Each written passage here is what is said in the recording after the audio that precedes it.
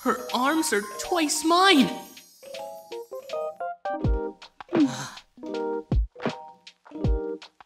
She's so close to me that I can't think straight.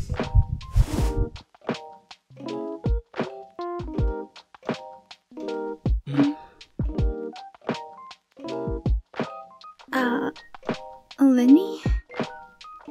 Are you okay? Your nose. Oh, why wouldn't I be? Oh my god. I, I could do magic tricks on those abs. And, and also those arms. Oh my god. Oh god, I can't, I can't, I can't, ah! Oh yes, please. Tear me apart with those glorious arms.